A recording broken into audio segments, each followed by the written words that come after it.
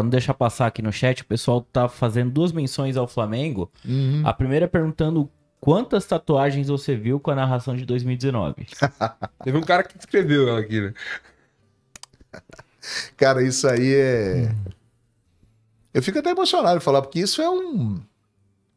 Isso é um troféu que a gente ganha todo dia, cara. Eu não sei responder isso porque eu não, não é incalculável.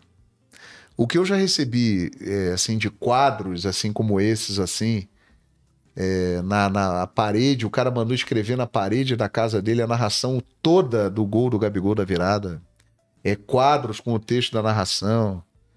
É, tatuagens com o texto da narração.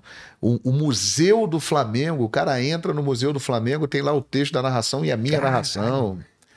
Foda.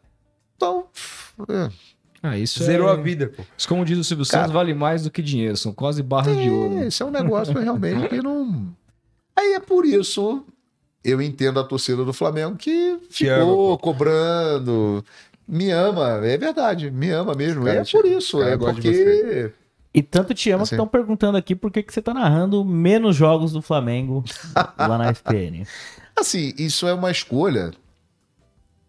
E até respondi isso anteriormente, né? Sobre essa não identificação com Os times do Brasil. os times do Brasil. Isso é uma escolha da ESPN, né? Eu realmente não não sei dizer. Da mesma forma, quando eu sou escalado, eu não vou lá perguntar por que, que eu fui escalado. Aham. É quando eu sou escalado, por exemplo, quando eu fui escalado para narrar Flamengo e Palmeiras a final da Libertadores, eu não bati na porta do chefe lá e perguntei assim, mas por que, que eu tô narrando esse jogo aí? Hum, claro. Da mesma forma que quando eu não sou escalado, eu acho, assim, isso é uma desconfiança. Eles se preocuparam com essa identificação minha com a torcida do Flamengo. De uma maneira que pudesse te queimar com as outras torcidas, talvez. Exato. Mas eu acho que não tem mais jeito. É. Ah, não. Já era. Pra ver o chat aqui. É Já aí. era. É algo que, assim. Aconteceu, né, cara? Porque, cara, foram 38 anos sonhando com alguma coisa. Era o sonho, né? De uma torcida do tamanho da torcida do Flamengo. né? E no meio desse caminho, vários tombos, vários tombos, vários tombos e tal. E de repente chega um momento e que a voz desse momento é a minha.